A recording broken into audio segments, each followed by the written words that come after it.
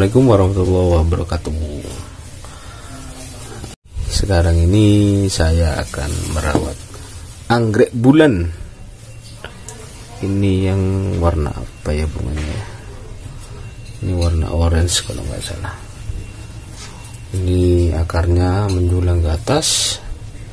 Jadi Sekalian merenovasi Agar masuk ke dalam kasihan juga ini. Ke atas menadah matahari.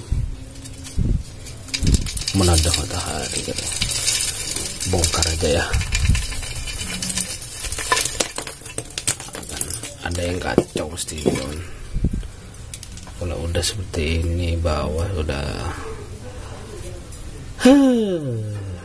dijamin akarnya udah. Tidak sihat ini ya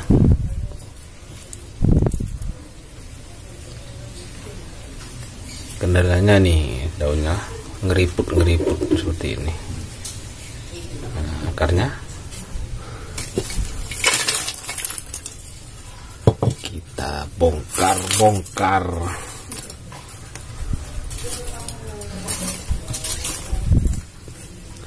Mos dipindahkan terlebih dahulu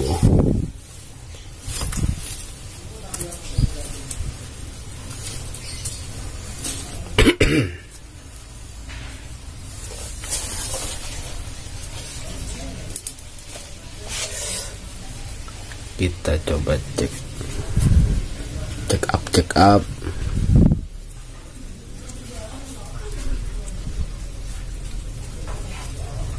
Ini nggak bisa. Kalau saya langsung potong. Potong. Ini potong. Ini dipotong kemudian ini dipotong. Kering biar ini. Kemudian ini juga. Seperti ini ya teman. Nah, ini juga percuma juga dipelihara.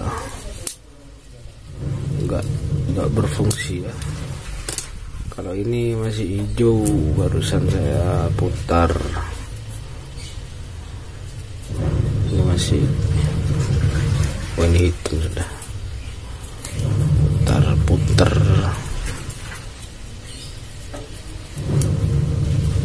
Nah seperti ini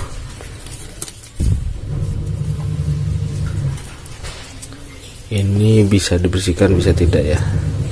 Cuma kalau bersihkannya seperti ini aja dibelah.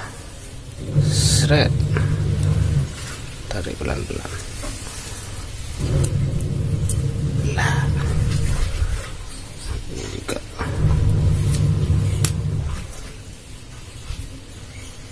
Agar akar yang nah ini bisa lebih luasa dan ditanamnya agak lebih ke bawah Blue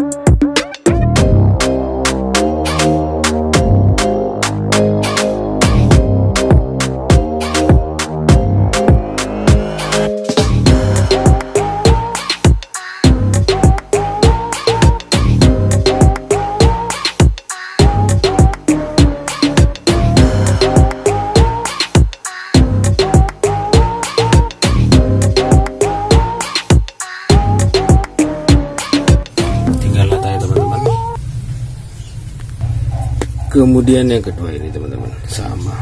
Daunnya keriput. Ini pasti seperti itu di bawah ini akar barunya. Di atas semua hampir mirip gejalanya seperti itu. Ini nanti saya potong. Saya bongkar. Ya.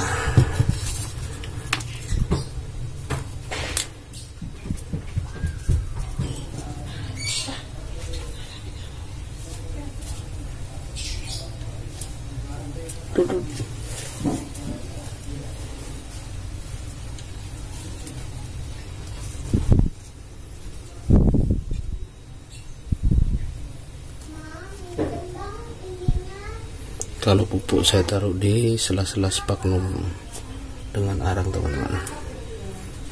Sebenarnya bucketnya ada keranjang pupuknya saya punya. Kita lagi coba saya pakai keranjangnya itu ya jadi kalau ada spagnumnya seperti ini tinggal tarik. Kan ya. Bersihkan.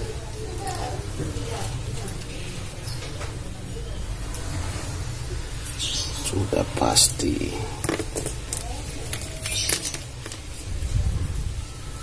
Sudah pasti nih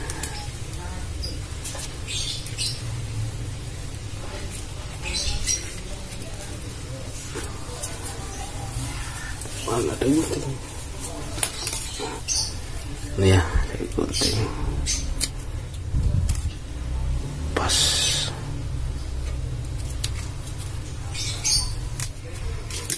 kalau sudah anggrek seperti ini daunnya ciri-cirinya seperti ini kisut pasti sudah perbaruan akar. Akar barunya mana ini ini.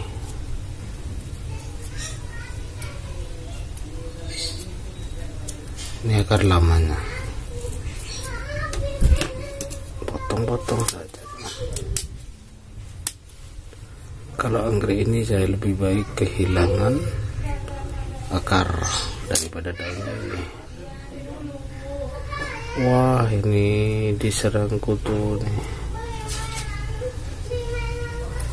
pantas kalau nggak sehat.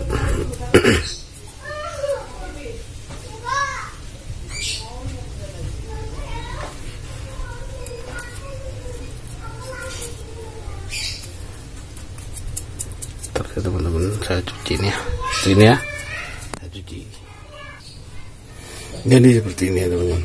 Keranjangnya ya. Tinggal dibuka. Di kastar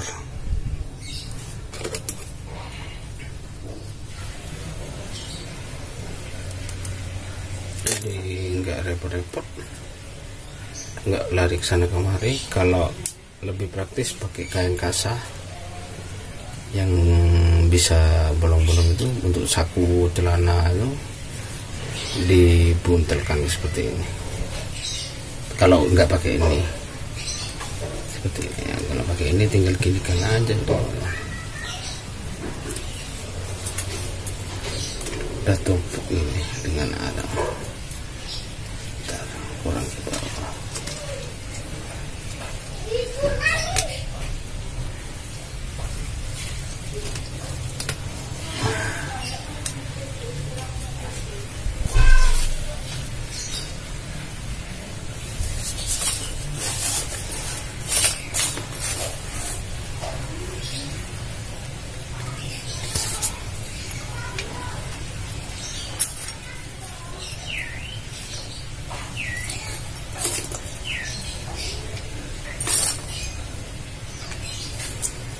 sudah.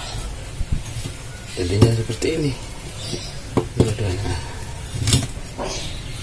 teman-teman ini jadinya setelah direnovasi.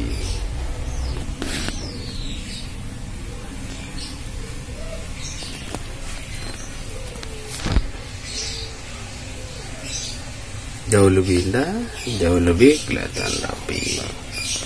Akar tidak menjulang-menjulang ke atas cukup sekian. Ini kelihatan ya